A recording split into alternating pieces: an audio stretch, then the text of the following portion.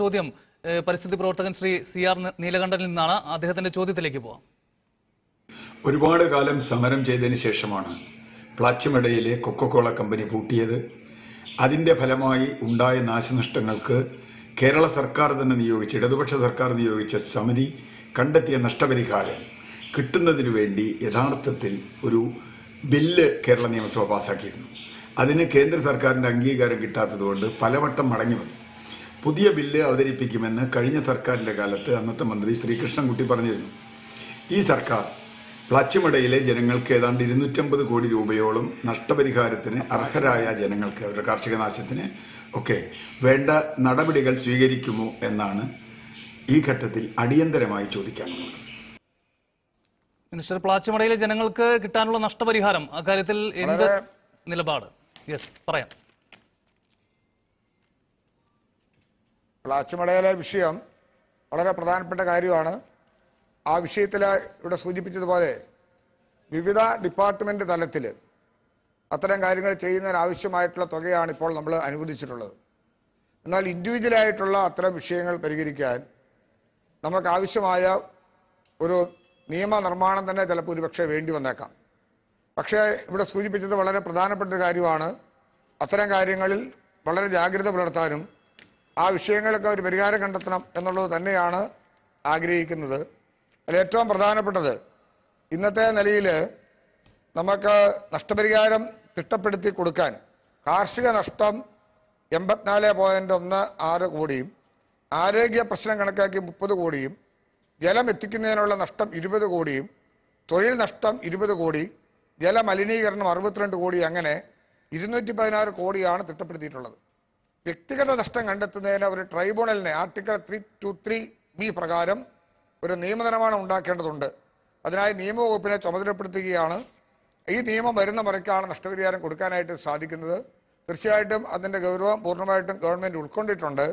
വളരെ നല്ല നിലയിൽ അത് മോണിറ്റർ ചെയ്ത് സമയബന്ധിതമായി കാര്യം പരിഹരിക്കാൻ കഴിയത്തക്ക വിധത്തിൽ ആശ്വാസ നടപടി സ്വീകരിക്കാനാണ് സർക്കാർ ഉദ്ദേശിക്കുന്നത്. യെസ് നമുക്ക് കടുത്തുരുത്തിയിൽ നിന്ന് ജോർജ് മുല്ലക്കര ചേരുന്നുണ്ട്. അദ്ദേഹത്തിന്റെ ചോദ്യത്തിലേക്ക് പോകാം. തണ്ണീർമുക്കം ബണ്ടും കുട്ടനാട്ടിലെ നാൽപ്പത്തി അഞ്ചോളം ഓരുമുട്ടുകളുണ്ട്. അതിൽ പ്രധാനപ്പെട്ട തണ്ണീർമുക്കം ബണ്ട് പിന്നെ വൈക്കത്തെ കരിയാർ മുട്ടാണ്. ഇത് രണ്ടും മറ്റ് ഓരുമുട്ടുകളും ഡിസംബർ രണ്ടാമത്തെ ആഴ്ചയിൽ അടയ്ക്കുകയാണ് പതിവ്. അത് മാർച്ച് പതിനഞ്ചിന് തുറക്കണം.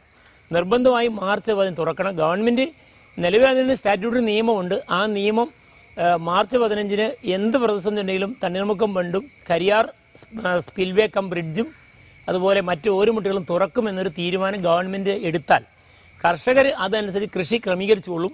കൃഷി വകുപ്പ് നവംബർ മുപ്പതിനകം പുഞ്ച കൃഷിയിൽ വിതയ്ക്കുന്നവർ വിതച്ചിരിക്കണം. അതിനുശേഷം വിതയ്ക്കുന്നവരുടെ കൃഷി നഷ്ടത്തിന് ഗവൺമെന്റ് ഉത്തരവാദികളായിരിക്കില്ല എന്നൊരു നിലപാടെടുത്താൽ കർഷകർ നവംബർ മുപ്പതിന് മുമ്പ് പാടങ്ങൾ വിതയ്ക്കും.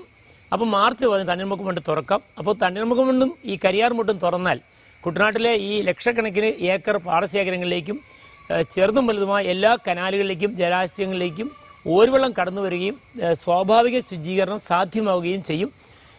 അത് അടിയന്തരമായി നടപ്പാക്കേണ്ടതാണ്. മിനിസ്റ്റർ പറയാം.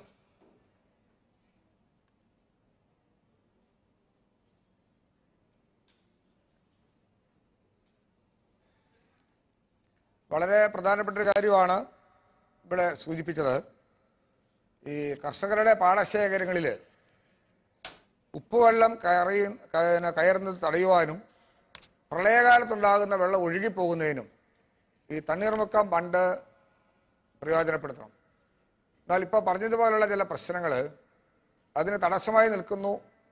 അതാണ് അവിടുത്തെ ഒരു പ്രശ്നമെന്ന് പല മേഖലയിൽ നിന്നും ഇത്തരം കാര്യങ്ങൾ ഉയർന്നു വന്നിട്ടുണ്ട്.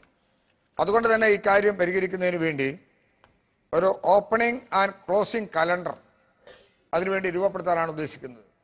അപ്പോൾ കൃത്യമായും ആ കലണ്ടർ അടിസ്ഥാനത്തിൽ അവിടെ വിഷയങ്ങൾ പരിഹരിക്കാൻ കഴിയത്തക്ക നിലയിൽ തണ്ണീർമുക്കം ഫണ്ടിന്റെ ഓപ്പറേഷൻ കറക്റ്റാക്കിയാൽ കാർഷിക മേഖലയിൽ ഇപ്പോൾ ഉണ്ടായിട്ടുള്ള വിഷയങ്ങൾക്ക് പരിഹാരമാകും. കർഷകർക്ക് ആശങ്ക അകലും ആ നിലയിൽ ഈ വിഷയം പരിഹരിക്കാൻ കഴിയും. അതാണ് ഗവൺമെന്റ് ഉദ്ദേശിച്ചിട്ടുള്ളത്. മിനിസ്റ്റർ തീർച്ചയായും ഈ കുട്ടനാട്ടിലേക്ക് വന്നതുകൊണ്ട് ചോദിക്കുകയാണ്. ഇപ്പോൾ കർഷകരുമായി ബന്ധപ്പെട്ട ഒരു പരാതിയാണ് ഒരു വിഷയമാണ് അങ്ങ് ഇപ്പോൾ കേട്ടത്. ഒപ്പം തന്നെ അവിടെ വലിയ പ്രശ്നങ്ങൾ അവിടെ നിലനിൽക്കുന്നുണ്ട്. ഈ ദിവസങ്ങളിൽ നമുക്കറിയാം മനോരമ ന്യൂസ് വരെ ഒരു പ്രത്യേക ദിവസം മുഴുവൻ അതിനുവേണ്ടി ചെലവഴിക്കുകയും അങ്ങുൾപ്പെടെ അതിൽ പങ്കാളികൾ പങ്കാളിയാവുകയും അങ്ങുൾപ്പെടെ ആ വിഷയത്തിൽ കൃത്യമായ ഇടപെടൽ ഉറപ്പ് നൽകുകയും ചെയ്തിരുന്നതാണ്. ഇപ്പോൾ അതുമായി ബന്ധപ്പെട്ട് കൂടി ചോദിക്കുകയാണ്. അവിടെ വലിയ പ്രശ്നമാണ് ഈ കുടിവെള്ള പ്രശ്നം. ചുറ്റും വെള്ളമാണെങ്കിലും ഒരു തുള്ളി കുടിക്കാനില്ലാത്ത ആ അവസ്ഥ. ആ അവസ്ഥയ്ക്ക് പരിഹാരം എന്ന നിലയ്ക്ക് ഏത് തരത്തിലുള്ള മാർഗങ്ങളിലേക്കാണ് ഇപ്പോൾ അല്ലെങ്കിൽ നടപടികളിലേക്കാണ് ഇപ്പോൾ സർക്കാർ കടന്നിരിക്കുന്നത്? അവിടെ കുടിവെള്ള പ്രശ്നം ഒരു പ്രധാനപ്പെട്ട വിഷയമാണ് ഞാനത് നിയമസഭയിൽ തന്നെ വ്യക്തമാക്കി. അതിനെ ഒരു പൊതു സ്വഭാവത്തോടു കൂടി കാണണം. കുട്ടനാട്ടിലെ കുടിവെള്ള പ്രശ്നം പരിഹരിക്കുന്നതിന് വേണ്ടി മറ്റെല്ലാ തലത്തിലുമുള്ള സാഹചര്യങ്ങളിൽ നിന്ന് വ്യത്യസ്തമാണ് എന്നുള്ള നിലയിൽ തന്നെ അതിനെ ഗവൺമെന്റ് കാണുന്നുണ്ട്. അവിടുത്തെ എം എൽ എ അത്തരം കാര്യങ്ങളുമായി ബന്ധപ്പെട്ട് നിയമസഭയിൽ ചോദ്യങ്ങൾ ഉന്നയിക്കുകയും സബ്മിഷൻ കൊണ്ടുവരികയും ഞാൻ ആ സബ്മിഷന് മറുപടി പറയുകയും അന്നേ ദിവസം തന്നെ അതിന്റെ പ്രാധാന്യം കണക്കാക്കി തിരുവനന്തപുരത്ത് ഉന്നത തലത്തിലുള്ള ഒരു യോഗം ചേർന്ന് നിലവിലുള്ള പദ്ധതികളെക്കുറിച്ച് വിലയിരുത്തി ആ പദ്ധതികളുടെ പശ്ചാത്തലത്തിൽ അവിടെ വെള്ളം എത്തുന്നതിന് വേണ്ടിയുള്ള ചില തടസ്സങ്ങൾ കണ്ടു. ആ തടസ്സങ്ങൾ പരിഹരിക്കുവാൻ എം എൽ എയും അതോടൊപ്പം ജനപ്രതിനിധികളുമായി കൂടിയാലോചിക്കുവാനും ജില്ലാ കളക്ടറോട് വിടേണ്ട ചില വിഷയമുള്ളതിനാൽ ജില്ലാ കളക്ടറോട് ഉൾപ്പെടുത്തി ഉൾപ്പെടുത്തി ഇരുപതാം തീയതിക്ക് മുമ്പായി അത്തരം തർക്കങ്ങൾ പരിഹരിക്കുവാനും അതിന്റെ അടിസ്ഥാനത്തിൽ ചില വർക്കുകൾ ടെൻഡർ ചെയ്യുവാനും ആ നിലയിൽ കുട്ടനാട്ടിലെ ശുദ്ധജലം പരിഹരി പ്രശ്നം പരിഹരിക്കുന്നതിന് വേണ്ടിയുള്ള നല്ല നിലയിലുള്ള ജാഗ്രതയും സമീപനവും സ്വീകരിച്ചു വരുന്നുണ്ട്.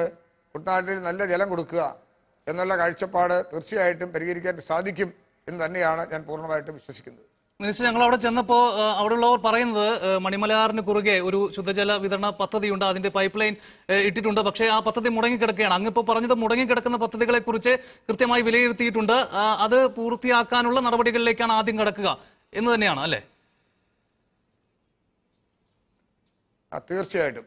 പുതിയ പദ്ധതികൾ എന്നതിനേക്കാൾ ഉപരിയായി ആരംഭിച്ച പദ്ധതികൾ സമയബന്ധിതമായി പൂർത്തീകരിച്ച് ജനങ്ങൾക്ക് പ്രയോജനകരമായിട്ട് അതിനെ നടപ്പിലാക്കുക എന്നുള്ളതാണ് ആദ്യം ലക്ഷ്യം വെക്കുന്നത്.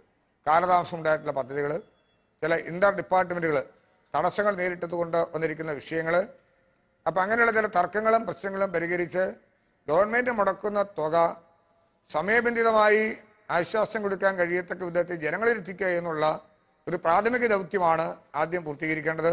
അതിനെല്ലാവരുടെയും സഹകരണം ഞാൻ അഭ്യർത്ഥിച്ചിട്ടുണ്ട്. പല സ്ഥലത്തുമുള്ള തർക്കങ്ങൾ പലപ്പോഴും ഇത്തരം കാര്യങ്ങൾക്ക് ഒരു ബുദ്ധിമുട്ട് രൂപപ്പെടുത്തിയിട്ടുണ്ട്. അതുകൊണ്ട് ആ വിഷയം പരിഹരിച്ച് നമുക്ക് ശുദ്ധജല വിതരണം നല്ല നിലയിൽ നടത്താൻ സംസ്ഥാനം ഒട്ടാകെ ശ്രമിക്കുന്നതിൽ ഒരു നല്ല പരിഗണന കുട്ടനാടിന് കൊടുക്കണം. അതിന്റെ ആവശ്യകതയെ നന്നായിട്ട് ബോധ്യപ്പെട്ടിട്ടുണ്ട്. ആ നിലയിലുള്ള ചർച്ച പുരോഗമിച്ചു. അതിന്റെ ആദ്യഘട്ട മീറ്റിംഗ് കഴിഞ്ഞു. ആ നിലയിൽ കുട്ടനാട്ടിലെ കുടിവെള്ള പ്രശ്നം പരിഹരിക്കുന്നതിന് വേണ്ടിയുള്ള നടപടികളുമായി ഗവൺമെന്റ് മുന്നോട്ട് പോവുക. തീർച്ചയായും. മറ്റൊരു പ്രശ്നം വെള്ളക്കെട്ടാണ് മിനിസ്റ്റർ. ഇപ്പോൾ അതുമായി ബന്ധപ്പെട്ട് പലതരത്തിലുള്ള പരിഹാര നിർദ്ദേശങ്ങൾ പലരിൽ നിന്നും വരുന്നത് ആ, ദിവസം കാണുകയും ചെയ്തു. ഇപ്പോൾ ഡാമുകളുടെ ആഴം കൂട്ടി സംഭരണശേഷി വർദ്ധിപ്പിക്കുക തുടങ്ങിയ ആശയങ്ങൾ അല്ലെങ്കിൽ അതിനുള്ള നടപടികളിലേക്ക് കടക്കാൻ തീരുമാനിച്ചിട്ടുണ്ടോ ഉദ്ദേശിച്ചിട്ടുണ്ടോ? നമ്മുടെ ഏറ്റവും പ്രധാനപ്പെട്ട വിഷയം ഞാൻ മനസ്സിലാക്കുന്നത് വെള്ളക്കെട്ടുകൾ ഉണ്ടാകുന്നതിന് ആസ്പദമായിട്ടുള്ള വിഷയം എന്ത് എന്നുള്ളതിനെക്കുറിച്ചാണ് പഠിക്കേണ്ടതായിട്ടുള്ളത്.